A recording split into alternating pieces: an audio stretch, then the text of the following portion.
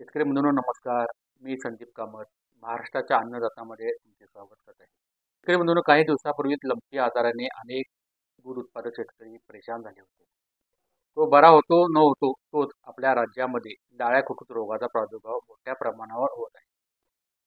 साधारणपणे साखर कारखाना चालू झाल्यावर या रोगाचा प्रादुर्भाव मोठ्या प्रमाणात होतो. कारण उसाची वाहतूक करण्यासाठी बैलगाडीचा वापर केला जातो आणि एका जागून दुसऱ्या जागेला बैले जात असल्यामुळे या रोगाचा प्रादुर्भाव वाढत आहे. हा विषाणूजन्य रोग असल्यामुळे यावर हमखास असा उपचार नाही. परंतु तो रोग रोखणे ही गरजेचे आहे. कारण यामध्ये मृत्युकेचे प्रमाणही वाढत आहे. चला तर आपण पाहूया या रोगाची कारणे लक्षणे व उपाययोजनेबाबत.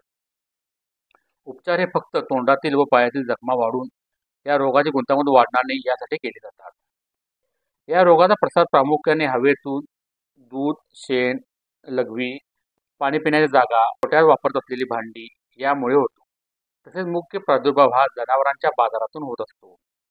याचा मुख्य प्रसार हा बाधित जनावरांचा संपर्क येऊ शकणारा जागा आठवडी बाजार यात्रा पशुप्रदर्शने साखर कारखान्यातील हंगाम त्याचबरोबर स्थलांतरित पक्षी देखील करतात. बाधित जनावरांची लाळ व इतर सर्व स्रावातून या विषाणूंचा प्रसार होतो. रोगाचा संक्रमण कालावधी साधारण दोन ते सहा दिवसापर्यंत असू शकतो. या रोगामध्ये मृत्यूचे प्रमाण हे विषाणूच्या प्रादुर्भावावर अवलंबून आहे. साधारणपणे वीस ते पन्नास टक्क्यापर्यंत मृत्यूही होऊ शकते.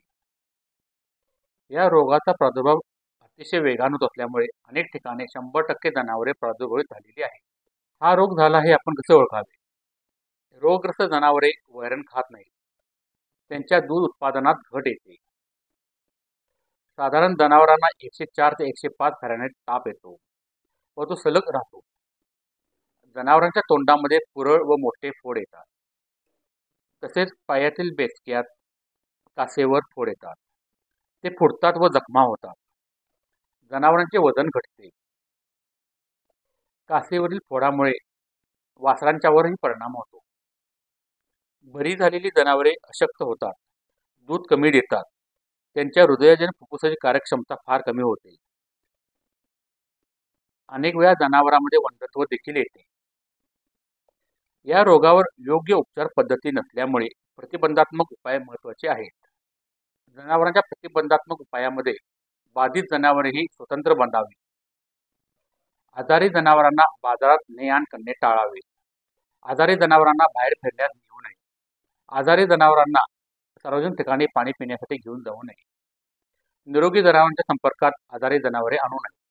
जनावरांचा गोठा चार टक्के धुण्याच्या सोड्याच्या द्रावणाने धुवून घ्यावा. रोगाची साथ आलेल्या गावात नजीकच्या गावात लस दिली नसेल तर ती लगेच देऊन घ्यावी. पायातील व तोंडातील जखमा लवकर बरा होण्यासाठी पशुवैद्यकाकडून प्रतिजैविकांचे आणि व्हिटॅमिनचे इंजेक्शन देऊन घ्यावे. आजारी बैलांना आराम द्यावा. त्यांच्याकडून शेताची कामे करून घेऊ नयेत. या रोगावरील लस सहा महिन्याच्या अंतराने वर्षातून दोन वेळा द्यावी.